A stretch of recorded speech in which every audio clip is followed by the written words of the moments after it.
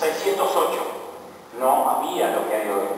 Entonces Mercedes con ese producto normalmente en la calle, por ejemplo el de fabricaba esto mismo, tipo furgón, que lo usaba correos y otras empresas. Y también se hicieron minibuses, pero tenían tres filas de asientos. Y un día viene la gente de Buenos Aires Tour y de tienda León al dueño de camioneta y dice, yo quiero un urbano receptivo sobre este chasis, pero 24 pasajeros.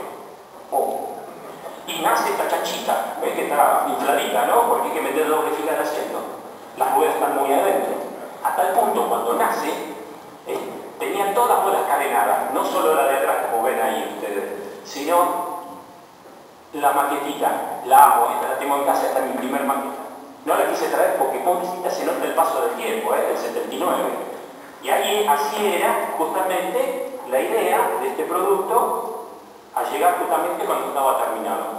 Ocurrió un problema que el equipo de aire acondicionado no existía, tuvimos que poner uno mortal de un media distancia, por eso tiene ese super coco en la parte trasera de la gente de Rubber. En ese entonces había un fabricante de aire, no sabe, llamaba Rubber. Y bueno, 24 pasajeros y todo estaba hecho en chapa, tapizado adentro. Ustedes no saben lo que era, todo era mano.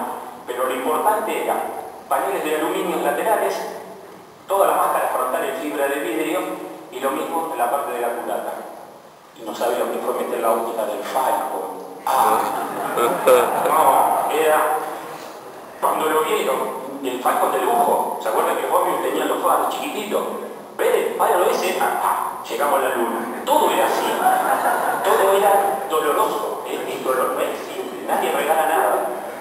Y ahí estábamos trabajando muchachos y empezamos a darle, estas son mis primeras imágenes de los dibujos de los interiores, la parte del portapaquete, la parte frontal, diseños de, tablero, y esto, ah, año 83. Cuando llego, me encuentro que el ómnibus tenía un cubo de acero inoxidable y el inodoro tiraba eso. Una pieza plástica pegada y la parte de arriba del baño, todo de chapa en pedacitos, tapizado en tela vinílica, marfil, agarrado con tornillo. ¡Ay, qué asco! Cuando le digo, no, esto hay que hacer un baño integral. ¿Qué es un baño integral? Y yo cuando estaba estudiando La Plata, tenía compañeros de arquitectura en la pensión y había empezado a ver trabajos no acá en Argentina, sino en Europa, para edificios, baños integrales. muchas imágenes, de eso había una grúa subiéndolo, metiendo los nichos del edificio. Digo, ah, si hago esto. Y empezamos. Y estas son totalmente las primeras ideas, digamos, de lo que es un baño en dos mitades, ¿no? dos partes, que hoy es ya archi, recomún nadie mira y observa, vamos por necesidad y se acabó. Pero bueno, ahí estamos viendo distintas vistas justamente del baño. El producto. Y esa maqueta la día en el baúl del auto, sin plano ni nada, y me vendió el primero. Con una maqueta se vendió el primer arroz. Y algunas ideas, como era una familia de productos, también estaba la Mini ventanas inclinadas, esta era del año 95, sobre chasis Mercedes, que después Cubano la termina de hacer sobre la idea del Ibeco. Maquetas, también las mini sobre chasis agrales, entonces estaban intentando entrar en el mercado agral y cambiando el frente, culata. Y aparece Mercedes-Benz con este bichito, con el Sprinter. Querían hacer lo mismo que el escudato. Como habíamos hecho escudato sobre Ibeco, nos trajeron a la fábrica la trompa y un chasis. Cuando empezamos a analizar, empezamos a tirar imágenes, resolvimos que no daba, porque era un vehículo, no sé si era 319 o 317, no me acuerdo, la primera. No tenía carga, estaba por debajo de la carga de la Indeco y no convenía fabricarla hasta el mismo dueño. Me dice, mira Miguelito, esto me no, no, no existe. Bueno, fue el, anteproyecto y ahí quedó. Y en el 2000 se armó el lío. Entonces, si sabemos el ómnibus, podemos ser urbanos, decía Bueno, dale, yo pasé urbano, empezamos a tirar ideas urbanas, hasta el punto que Rosario hicimos el famoso recarrozado para la línea de las delicias, no había ni plata ni para hacer un cero kilómetro, entonces también hubo una intención de hacer esto, y tiramos ideas de los larga distancia sobre lo urbano. Y la línea Arroz, con toda su familia de productos, chico, bajo, estas son las imágenes maquetas, maquetas, Y bueno, y apareció esto. Y esto tiene una historia bastante particular. Otras de las historias particulares. Los hijos a veces uno trata de pero no salen, ¿viste? Te hace de 4 o 5 años que pensaste. Esto pasó lo mismo. Esto nació en el 98 en Lima, cuando reabrí. En el 99 cierra una patada. ¿eh? Tú, Miguelito a la calle, no cobré los 5 años que trabajé con ellos, subsidio por desempleo, iba al Banco Nación, y también viví esa parte. Pero había nacido esta idea. ¿eh? Yo estaba bastante loco en La Plata, había visto los trabajos del famoso Luigi Colani, un camión loco en el año 78. Yo estaba haciendo un camión, estaba terminando la tesis y de golpe viene un pibe y me dice, Gusti, mirá esta locura de Europa. Y me quedó, qué bueno sería viviese un bus así. Y nació este bus en el año 80, 98. Dick Sierra, me fui a Metal Sur y me enteró de Metal Sur. Che, loco, sé que vos tenías algo guardado en tu cabeza. Vamos a tocar. Y lo empecé a hacer por segunda vez. ¿Y qué pasó? Acá en Buenos Aires, muchachos, bajó un helicóptero a la Casa Rosada en el 2000, se llevó al presidente. Viene el dueño y me dice, Gusti, los 10 empleados que vos tenés, todo se va al diablo, los vamos al diablo, no hay trabajo. 2001, 2002. Ah, se va al diablo.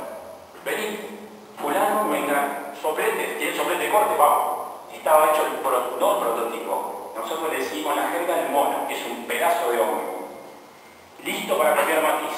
Soplete, corteto, toda la moldería, todo. Viene el dueño al otro día, ¿qué hiciste, loco? Nada, limpiamos. Así como se limpió un presidente, esta idea está en la cabeza, quédate tranquilo, algún día lo vamos a hacer. Pero tiraste todo, no, en cuatro años se va a mejorar el dinero. Sí, se mejora y empezar, fíjense que era con vidrios curvados, ¿no? La primera idea. Y de golpe viene en el 2003 y dice, Miguelito, luz verde, los de flecha, quieren que salimos algo nuevo. Sí, dale, dale con la locura de nuevo. Y ahí nació el Starbucks 1. ¿Sí? ¿Qué es lo que están dando en la calle? Acá están las primeras imágenes del Starbucks 1. Aquí está. También era una familia de productos de Que habían minibuses que ya después se descartó por problemas que, no era rentable construir estos vehículos. Es muy difícil para un fabricante de larga distancia hacer urbano y es muy difícil para un urbanero hacer ómnibus de larga distancia de cajón, excepto papá mayor, Marco Pobre. Sí, hay que estar preparado para hacer esto, esa, esa dualidad la última parte del Starbucks 2. Y entramos en esta parte. Esto también es el diseño, es la parte de ustedes, los nuevos chicos. Lo que ustedes vieron es la vieja guardia. Estos son los diseñadores que están ahora dentro del Metal Sur. Y les digo, ¿saben cuántos diseñadores tienen en Metal Sur al día de hoy? No solo Miguel Cutillo. En el año 2004 tomamos para hacer el Starbucks un alumno de donde yo dicto clase, Marcelo. ¿Y para qué lo trajimos a Marcelo? No era para hacer diseño colectivo, iba a ser tío. ¿Sabe qué? Apareció la GLCM y la licencia de configuración de modelo no exigía tener ISO 9001, diseño. Yo le dije querido, ¿qué cree que haga? ¿Diseño o ISO 9001? Elegí. No, vos que conocés, me va a hacer el ómnibus. Y tenés un diseñador para que sea eso. Bueno, Marcelo hace 10 años que está dentro y es especialista en diseño industrial con normas 9001. No sé si ustedes, alguno de ustedes acá o hay cátedra que dictan ISO 9001 en diseño industrial. Un detalle para el futuro. Bueno, un año atrás, otro alumno mío, che, Miguel, haciendo una selección. Y la selección vino una persona y dijo, este es un alumno mío. ¿Y para qué lo va a tomar? Para diseñar dispositivos. Bueno, brasileño quiere que hagamos dispositivos. Pero un diseño industrial que pide. Y uno le damos la oportunidad. Y bueno, hace un año, gabarito, ¿saben lo que es el gabarito? Dispositivo en portugués. Le pusimos gabarito, este muchacho. Trabaja haciendo el diseñador industrial que hace dispositivo. El tercero. Y el cuarto hace 15 días decidió. ¿Y para qué lo trajimos? Porque vamos a dividir en el futuro los diseñadores de exteriores y los diseñadores del interior, como son las industrias automotrices. Cuatro diseñadores industriales en una industria carrocera que tiene 180 operarios. ¿Ha crecido el diseño industrial? ¿Tiene su importancia, sí o no? Tiene una importancia hasta social.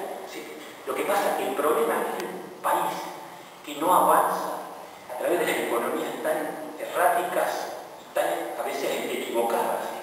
Acá hay extremadamente mucha materia gris. Brasileños, lo que una vez pasada en Marco Polo, que saben ustedes que Metal Sur forma parte del grupo Marco Polo Metal Bar. Entonces ahora estamos ¿eh? visitando mucho este, la casa matriz en Casiado Sur. Y hablando con el diseñador, ellos tienen 20 diseñadores. Hay un diseñador para cada cosa dentro de Marco Polo, 20. Entré a la parte de diseño, yo me quería me parece que estaba dentro de Renault, ¿eh? de loco. Ellos tienen un concept design a nivel mundial, porque tienen terminales en distintos lugares.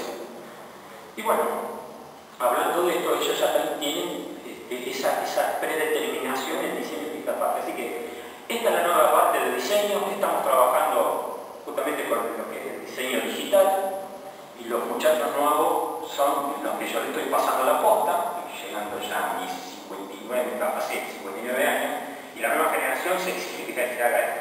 Estamos trabajando en el interior del vehículo con este concepto. Distintas partes, ¿no? Los interiores del vehículo, cajas de herramientas, todo, cosas que a su vez están hechas.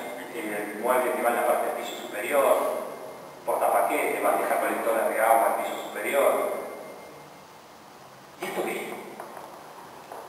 Si vos tenés un hijo, ¿no le pones nombre?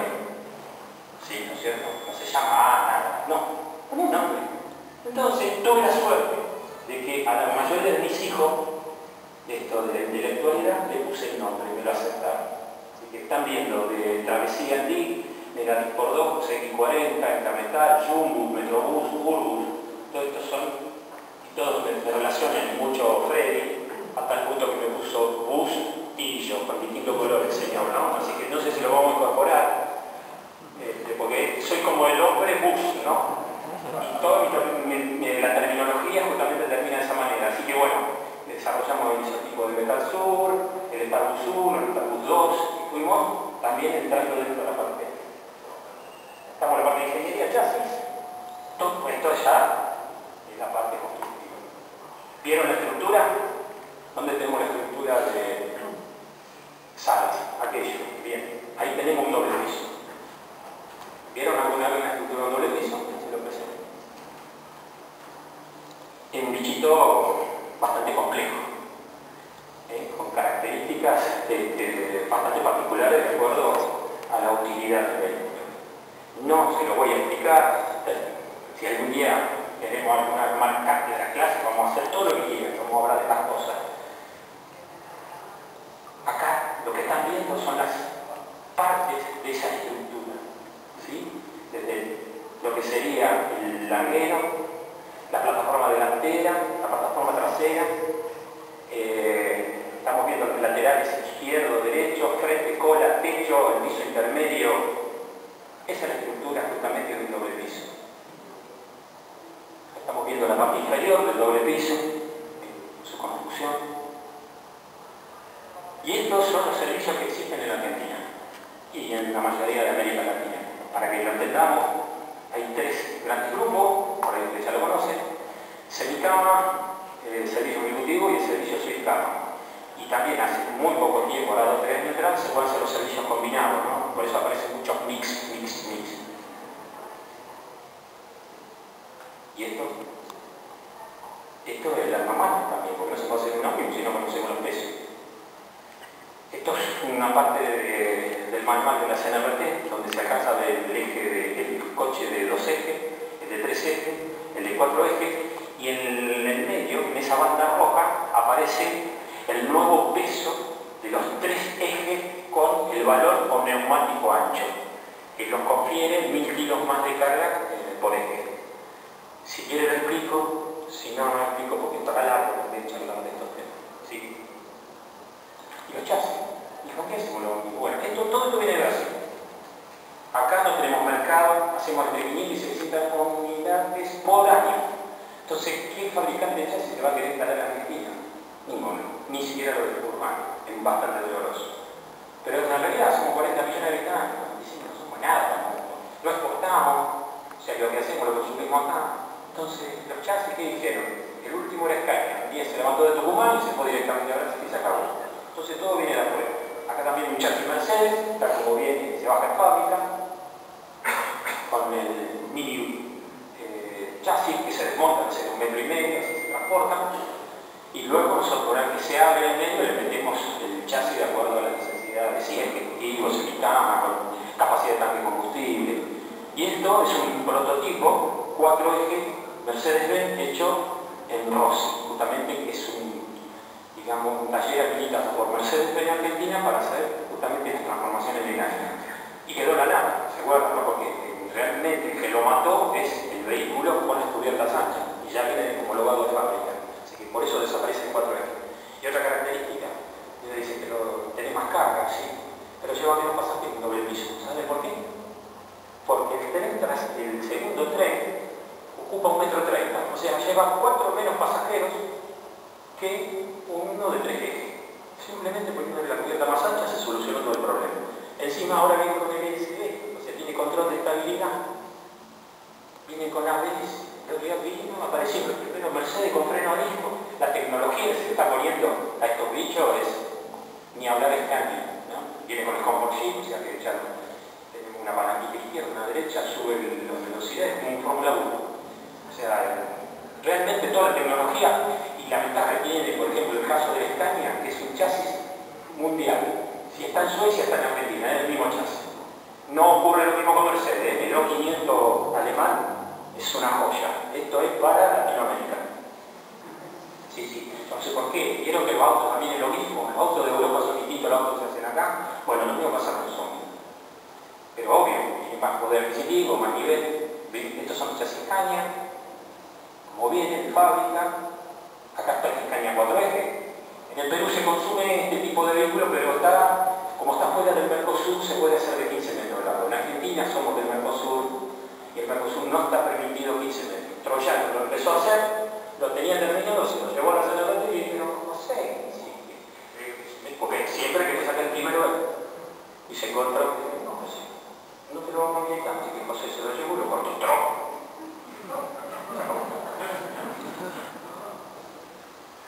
Chasis Volvo también. Volvo de cuatro ejes. Y esto es lo que mostraba hoy Sebastián, pero para larga distancia. Este es el plano de ministerio, que nosotros tenemos que extender en un documento muy importante del carrocero que va a la CNRT para que se habilite el servicio. ¿Y esto? El famoso módulo estructural podemos hablar que tienen otra clase de otra. Toda una historia, esto del vuelo, no, me voy a entrar en este tema. Entonces tenemos que empezar primero con el módulo estructural donde empezamos a hacer pruebas. Hacemos pruebas sobre los asientos. Y acá está, a ver, que lo habrán visto en internet. Tiene que estar a 28 grados de máxima, ¿sí? El vehículo está cargado con bolsa de arena cada asiento, 75 kilos repartido en el algodón y en el respaldo. En la bodega se tiene que representar la caja también con arena. El vehículo tiene que estar en marcha, si no, no trabaja el DSB. Ustedes saben que cuando se empieza a mover la plataforma hidráulicamente, empieza a pegar golpecitos. Es el DSB que corrige el ángulo de inclinación. Y cuando se mira, ve que hay un, en la parte... Ahí, tenemos el indicador ahí hay un nivel. Se muestra los 28 grados cumplió, listo, y ahí lo soltamos y lo bajamos. Se entra al revés y hace la prueba inversa. Tiene que estar cargado de gasol, tiene que tener el aire acondicionado, no hay personas a poco, pero el vehículo tiene que estar en marcha. ¿Por qué? Porque si no, no trabaja toda la parte este, eléctrico-neumática. Entonces, van a ver una imagen de atrás, de otro ángulo. ¿Ve el cárter que tiene? porque la bomba de aceite tiene que estar chupando. Si lo inclinan tanto, con el cárter normal, chao. Entonces Entonces, tiene esa característica. Para hacer la prueba hay que hacer este detalle. ¿Y la moldería? También hay moldería. Ojo, esto era BIC, y BIC, chaperos, acuérdense, todo a chapa. Ahí estábamos haciendo el óptico que tenía los cuatro parabrisas igual. Y en, acá combinamos el primer estarbudo de la chapería, en el segundo ya tenemos moldería en madera.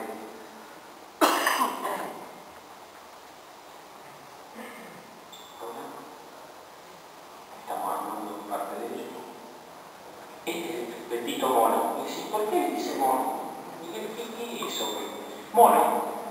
Yo hasta yo me, sorprendí un día. El Brasil también tiene un nombre parecido, pero nació capital el nombre mono.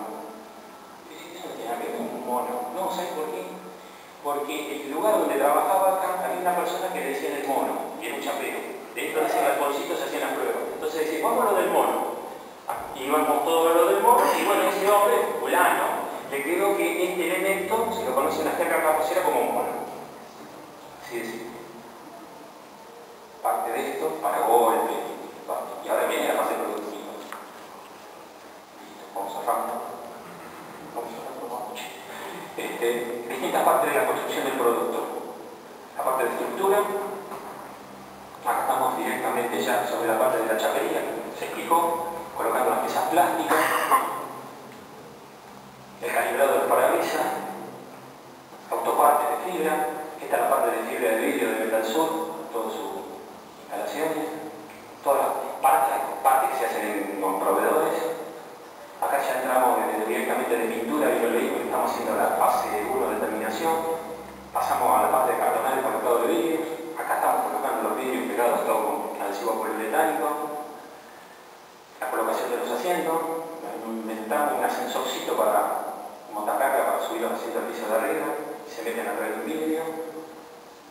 Acá estamos colocando los chicos en el tablero del vehículo, el apoyo de los portapaquetes, portapaquetes canal de aire a la vez. El coche ya entrando en la fase de terminación final.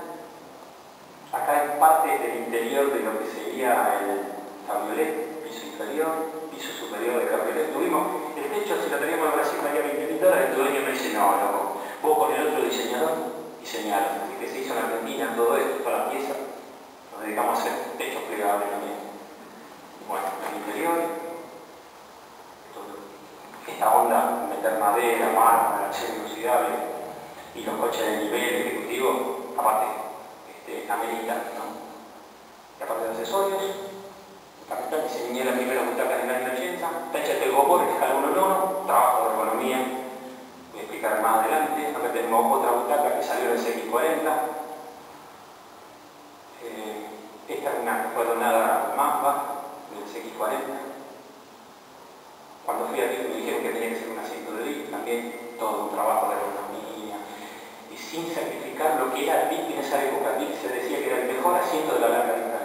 Estoy hablando antes que llegue Marco Polo. Y algunos pruebas, ideas que fuimos haciendo, también estos elementos como son las terneras, tapacubo para el Starbucks cuando salió, espejos, productos terminados, vamos, vamos. Y estos productos terminados de distinta gama de la línea Starbucks. Va creciendo el producto de acuerdo a los servicios eh, hasta llegar hoy en día al actual. También tenemos el 4 este que hicimos prototipos y bueno, después